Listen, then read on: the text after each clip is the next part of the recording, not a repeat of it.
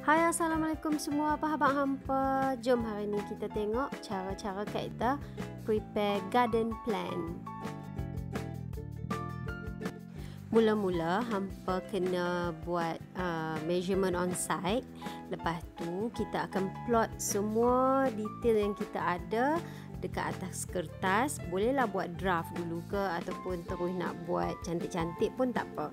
Lepas tu of course kita sketch dulu dengan pencil then kita akan gunakan pen untuk detail out semua.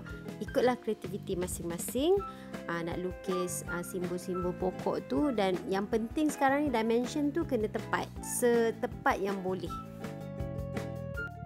bila dah ada semua information uh, kita bolehlah render bagi nampak menarik sikit nak nak apa tu ikut kita punya imajinasi, kreativiti kan? Nak tambah situ tambah sini buat shadow ke apa kan semua. Uh, so nampaklah live sikit lah kita punya plan tu.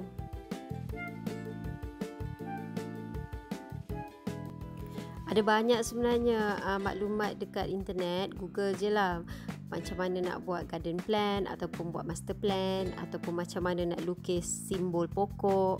So boleh nampak lah ini orang-orang yang tak berapa, tak ada background architecture pun boleh buat. Sebenarnya yang penting kita ada semangat spirit uh, passion tu kena ada. Nak lukis plan ni uh, paling penting ialah kekemasan dan kebersihan So once you ada dua-dua tu insyaAllah plan you akan nampak kemas, cantik dan juga macam berseni lah orang kata kan ha, Nampak pro lah. Nampaknya plan kita dah siap. Ada shadow lagi, dah render, dah colour.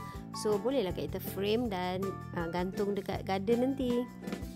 Okey, daripada plan yang kita dah siap ni, jom kita tengok garden actual bird's eye view daripada uh, ni actually daripada tingkap bilik anak kita. So tengok lebih kurang sama kan?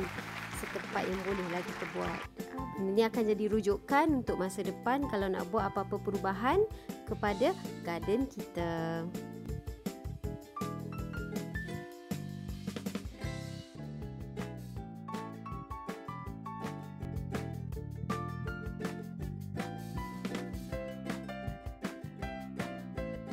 Okey, sekian dulu perkongsian kita pada kali ini. Semoga memberi manfaat kepada anda yang uh, teringin nak mencuba nak lukis garden anda sendiri. Okey, selamat mencuba dan jangan lupa subscribe, like dan follow YouTube kita ni. Terima kasih.